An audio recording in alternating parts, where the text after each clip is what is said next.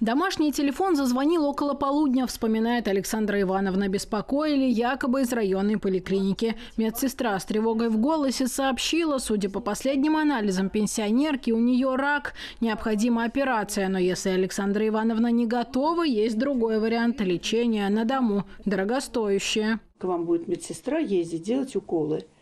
А вот 31 числа, то есть через неделю, пожалуйте к нам. Напуганная пенсионерка согласилась на все условия. Сразу после разговора с вежливой девушкой к Александре Ивановне пришел курьер с первой партией лекарств. Вел себя мужчина очень уверенно. Он протянул пенсионерке товарный чек. На нем почему-то был написан диагноз и сумма 486 тысяч рублей. Потом курьер прошел на кухню, самовольно поставил коробку в холодильник и велел Александре Ивановне не трогать ее до приезда медсестры. В этот момент пенсионерка заподозрила что-то неладное, но деньги курьеру все же отдала, испугалась за свою жизнь. Потом Александра Ивановна заглянула в коробку, она оказалась пустой. По такой же схеме аферисты обманули на 300 тысяч рублей и Валентину Степановну. Звонок раздается и говорит, а вы знаете, что у вас очень плохие анализы крови?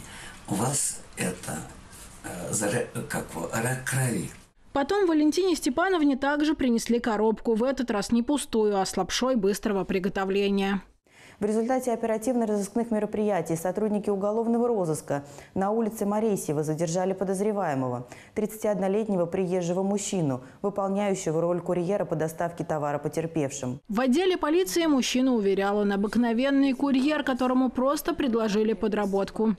Мне просто диктовался адрес, я приезжал туда, там меня встречали люди с распростертыми руками.